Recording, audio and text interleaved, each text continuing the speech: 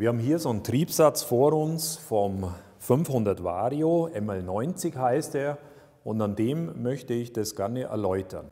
Wir kommen hier von der Motorkurbelwelle ins Getriebe, in den Triebsatz rein, kommen zum Planetensatz. Da sehen wir das erste und das zweite Zahnrad. Das zweite Zahnrad überträgt die Kraft auf die Hydropumpe, das wäre das Zahnrad Nummer 3. Jetzt schauen wir uns die Seite Hydromotor an. Der endet in einer Welle mit zwei Zahnrädern, Zahnrad 4, Zahnrad 5. Direkt drunter mit der Fahrbereichsschaltung Zahnrad 6 und Zahnrad 7.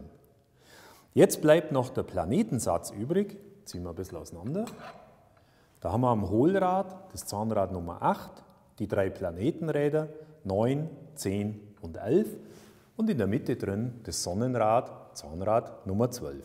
Das heißt, wir haben in diesem kompletten Triebsatz zwölf Zahnräder drin.